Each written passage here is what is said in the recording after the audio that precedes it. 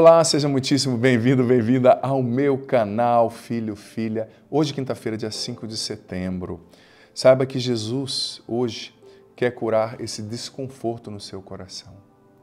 Eu sinto mesmo que Jesus está curando hoje, pessoa, agora, pessoas com desconforto no coração, com agitação na mente, com essa inquietação. Jesus está dizendo: Eu vou tomar conta disso para você, confie em mim. Renda-se diante do meu poder, eu sou Deus. Não olhe para o problema, olhe para mim, olhe para mim, eu sou Deus. O Senhor está acalmando o seu coração agora. Confie, filho, filha, e centre a sua mente, seu coração, sua alma no Senhor. Se você é novo, nova por aqui, vem fazer parte da nossa família, te peço, se inscreva no meu canal. Hoje, quinta-feira, 5 de setembro, ativa o sininho das notificações para você saber quando entrarem coisas novas. E deixa agora joia, like, curtida, joinha nesse vídeo para você me ajudar a evangelizar. Também escreve aqui nos comentários os seus pedidos de oração, o nome das pessoas, as situações. Que é uma família, gente. Eu vou rezar por essas intenções, nós vamos rezar juntos uns pelos outros, isso é muito importante, tá bom?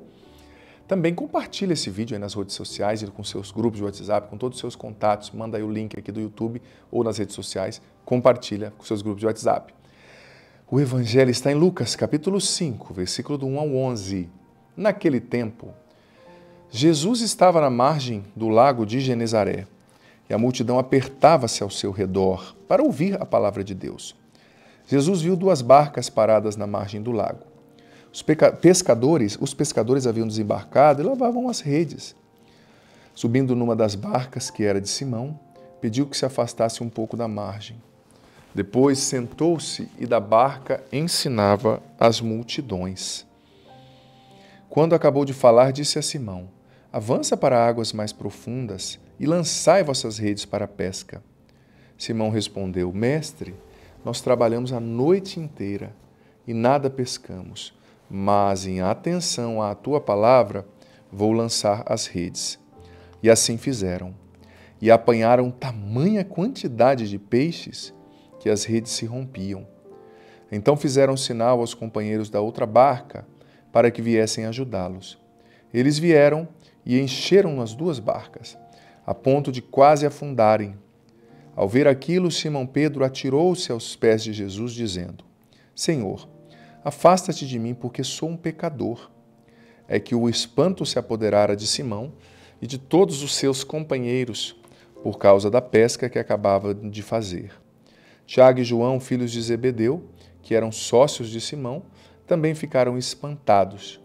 Jesus, porém, disse a Simão: não tenhas medo. De hoje em diante tu serás pescador de homens. Então levaram as barcas para a margem, deixaram tudo e seguiram Jesus.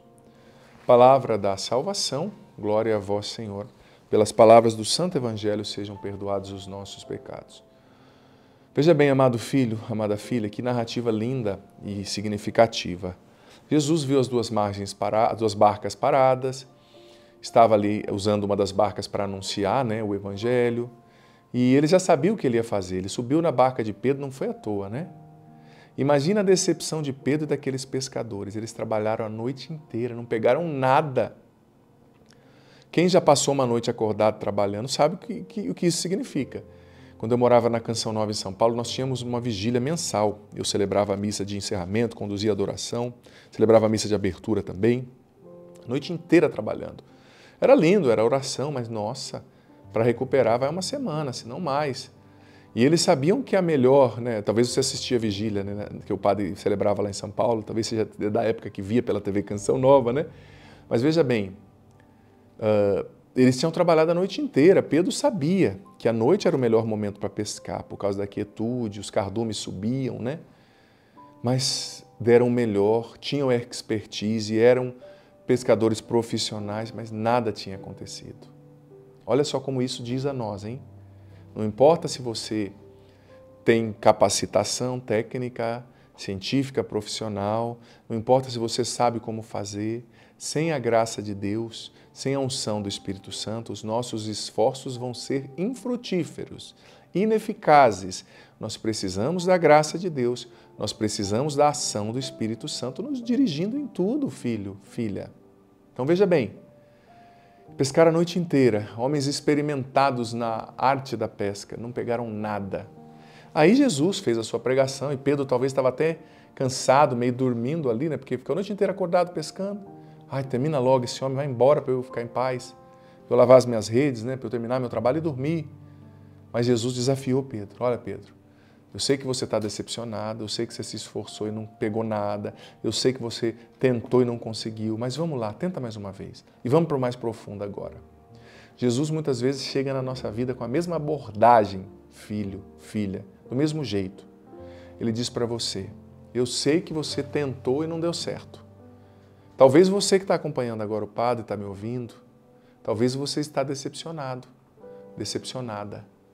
Porque você tentou restaurar esse casamento, não deu certo, você tentou vencer o vício, não deu certo, você tentou ser menos orgulhoso, não deu certo, você tentou ser mais amável, paciente, não deu certo, você não conseguiu, você retroagiu. Você tentou resolver o problema financeiro e não deu certo. Você tentou rezar mais e não deu certo. Você tentou se afastar dessas más companhias e não deu certo. Você tentou vencer a impureza e não deu certo. Mas Jesus está dizendo: Ei, eu estou aqui. Eu estou diante de você. Comigo vai ser diferente. Tenta de novo, mais uma vez. Não desista, não perca a paciência, não perca a fé, não perca a esperança. O diabo, gente, ele é ladrão da esperança e da fé. Quando ele quer derrubar alguém, primeira coisa que ele quer atingir, destruir em nós é a esperança e a fé. Não perca a esperança, Deus continua no controle. Mesmo diante dos destroços, talvez aconteceu algo que é irremediável, talvez alguém morreu, talvez seu marido já foi embora e está com outra, mas não perca a esperança, Deus está com você e Ele vai te ajudar a reconstruir a sua vida. Então, olha para Jesus, tenha fé e tenta mais uma vez. Vem comigo, Jesus está dizendo. Vem tentar de novo, mas agora vem do meu jeito. Vamos para as águas mais profundas. Vem rezando mais. Águas mais profundas significa também uma maior intimidade com Deus, uma maior vida de oração, uma maior busca de Jesus, uma maior escuta da palavra. Jesus está falando, agora vem do meu jeito, vamos para mais profundo. Vem que eu vou te conduzir, tenta outra vez, mas vem do jeito certo agora. Vem e lança as redes. Tenta, não para na sua decepção. Não deixa a sua decepção te definir.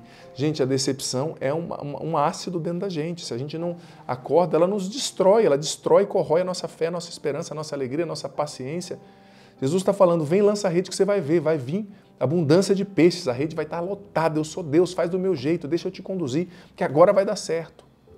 Não perca a esperança, não perca a fé e não deixe, sabe, a decepção definir você. Ah, eu tentei, não deu certo, eu estou cansado, eu estou triste. Eu sei, eu respeito você, filho, filha. Talvez você se decepcionou com um líder religioso, talvez você se decepcionou com você mesmo. Padre, como eu pude fazer isso de novo? Às vezes a gente não consegue controlar bem certos defeitos e vícios dentro de nós. Eu entendo você. Talvez você se decepcionou com o padre, com a igreja, com você mesmo, com os outros. Mas levanta a cabeça, Jesus está te pedindo: vem, vem comigo, vem do meu jeito, tenta outra vez, mas agora do meu jeito, deixa eu conduzir.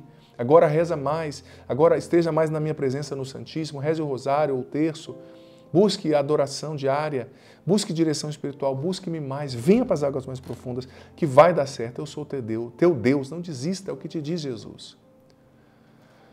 Senhor esteja convosco, Ele está no meio de nós, que desça sobre vós, sobre a água e permaneça para sempre. A bênção do Deus Todo-Poderoso, Pai, Filho e Espírito Santo. Amém. Digita aqui agora, eu confio na palavra de Jesus. Eu confio na palavra de Jesus, a nossa frase de hoje, testemunho público de fé. E por favor, escreva aqui nos comentários, nem que sejam poucas linhas, sabe?